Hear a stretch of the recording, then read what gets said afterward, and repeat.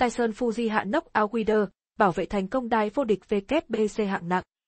Không có bất ngờ xảy ra trong trận tái đấu lần thứ ba giữa Tyson Fuji và Zeon Tay Wilder, khi tay đấm người Anh hạ nốc ao kỹ thuật võ sĩ người Mỹ và bảo vệ thành công đai vô địch WBC hạng nặng. Hòa nhau trong lần đầu gặp mặt năm 2018, Tyson Fuji và Zeon Tay Wilder gặp nhau lần hai vào năm ngoái và chiến thắng thuộc về Fuji. Võ sĩ người Anh lúc đó đã hạ nốc ao tay đấm người Mỹ sau 7 hiệp đấu.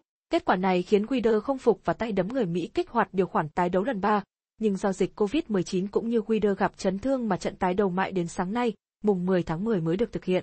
Trận đấu vừa kết thúc tại sân T, Mobile huyền thoại tại Nevada, Hoa Kỳ, quê nhà của Wilder.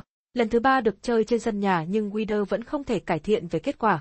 Đây vẫn là một trận đấu theo thể thức 12 hiệp nhưng nó đã kết thúc ở hiệp đấu thứ 11, với chiến thắng bằng knock-out nghiêng về tay đấm người anh Tyson Fuji. Ở trận đấu này, Tyson Fuji luôn chiếm ưu thế và dẫn điểm rất sâu so với Wider.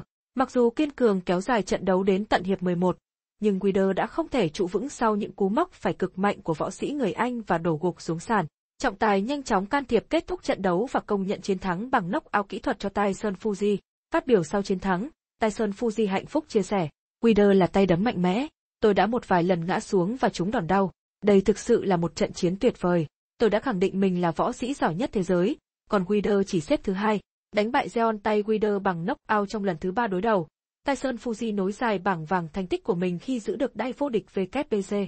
Sau 32 trận, Seeking thắng 31 trận và chỉ hòa một trận trước chính Guido. trong 31 chiến thắng ấy có đến 22 lần anh hạ knockout đối thủ. Và từ bây giờ, Fuji đã có thể toàn tâm toàn ý nghĩ về trận đấu nội bộ của các tay đấm Anh với đại kình địch Anthony Joshua.